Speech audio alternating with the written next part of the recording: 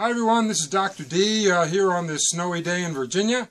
Uh, just going to take a quick minute or two to show you the correct way to shovel to do your best to prevent back injury. Of course, if you feel something happen right, you should stop right away, go inside, rest.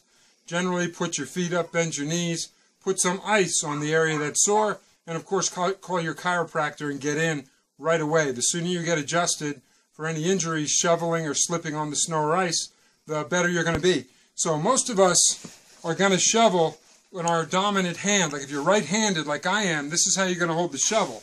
And then what we're going to do is we're going to shovel and we're going to toss. Shovel and toss. Now after a couple a couple shovels, you want to switch to your less do, less dominant side. In other words, in my case, my left hand, and then you want to do the same thing. Shovel and toss. Shovel and toss. What this does is it balances the stress on your lumbar spine, especially the discs, because you have fibers that slant to the left, fibers in another layer slant to the right. If you're always shoveling to the right, you're going to have a tendency to rupture or tear those fibers.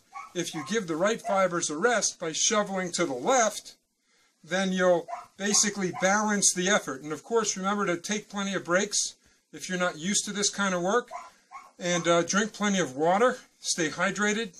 If you have a big driveway, I don't really have a big driveway, but in this heavy snow, there's over a foot here and it's wet, and it's definitely making me feel winded. So this is Dr. D signing off. Remember, uh, come in and get checked even if you feel okay after you shoveled because you're not used to it and it did put your back out and then you're going to sneeze and your back will go all to pieces.